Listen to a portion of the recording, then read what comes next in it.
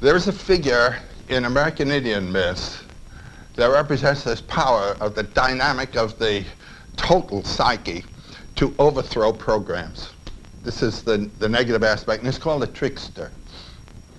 Uh, it's a very, very important figure in American Indian mythologies. In, uh, in the East, in the forest lands of the Northeast and uh, Southeast, it's uh, the great hare, a rabbit. Uh, when you go west of the Mississippi in the plains lands, it's coyote. You get up in the northwest coast, and it's raven. These are smart, clever birds and animals. Now, it's a great puzzler to well-trained Christians to come across the trickster hero because he's both a kind of devil and fool and the creator of the world. And uh, so he comes in as an upsetting factor. He breaks through. He, he even breaks through the notion of what a deity ought to be. And uh, this, I think, is about as good an example as you can find anywhere of the trickster hero.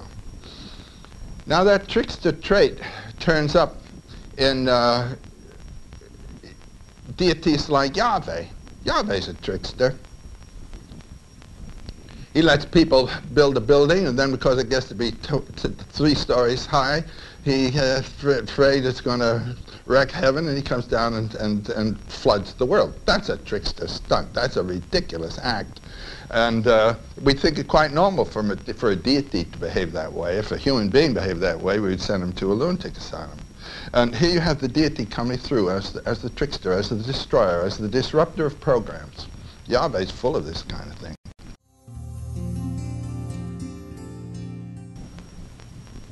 Well, uh, the coyote stories are, are, are really great. There's a rather amusing one Oh, well, to start, I suppose the most um, important myth uh, associated with this uh, trickster is that of the flood.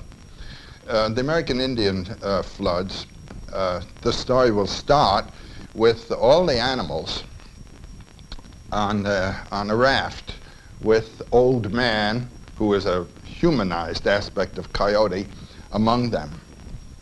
And uh, he sends a, uh, after a certain time, he sends a diving animal down, a muskrat or a diving bird, or a loon or something like that, to get a little piece of mud out of the water and bring it up. Now this, this motif we find in American Indian stories of the, the diver who brings up the mud, and then old man takes it and puts it on the water and makes some uh, magic, and, and the, it gets bigger and bigger and bigger and bigger and bigger, and then he sends a, a fox or something to run around the world and see if it's big enough. And on the third or fourth time, it's big enough, and, and there we are.